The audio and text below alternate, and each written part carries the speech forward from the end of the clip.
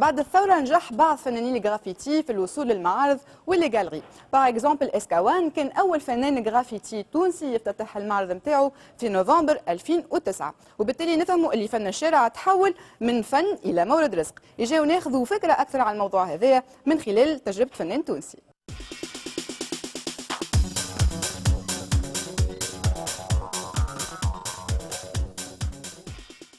التجربة نتاعي في الجرافيتي توا بدات عندها 11 عام. بديت في جابس آه، كيما les jeunes اللي فيهم توا بومبا وخدمة في الشارع وكل صحيح الناس ما تقبلش معناها الشيء هذا في الشارع أما نقول لهم راهو هذيك المرحلة الأولى باش يتعدى الواحد ال niveau اللي بعد. حاجة اللي تخلي الجرافيتي مورد رزق par exemple العباد آه، تحب تخدم décoration معناها surtout توا من بعد ال révolution نعرف العباد الكل تو كي عرفت معناها الجرافيتي في تونس خاطر قبل ال révolution كانوش العباد تسمع بها برشا.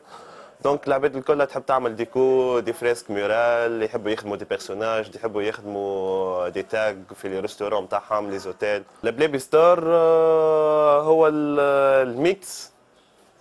نجم نسميه mix بين ال culture alternative و même temps مع ال vie quotidienne معناها اللي نشوفوا فيه معناها التونسي كيفاش يعيش كل يوم كلامنا تصرفاتنا في الشارع أي حاجة. لبلابي Store آه، هو projet بديتو عام سنة فما شكون معايا طفلة تخدم معايا اللي اسمها لاميا مشيشي. كيف كيف تخدم illustration donc les supports نتاعنا نحاولوا نخدموا بالحاجات نتاعنا التونسية. فما نظرة خايبة للجرافيتي في تونس يغسلوها كان حاجات نتاع شارع و ومتاع تخريب واللي هو مش صحيح معناها peut-être فما عباد عطت عليها النظرة هذيك مش صحيح معناها الجرافيتي معناها حاجة تتحط à l'échelle culturelle à l'échelle artistique à l'échelle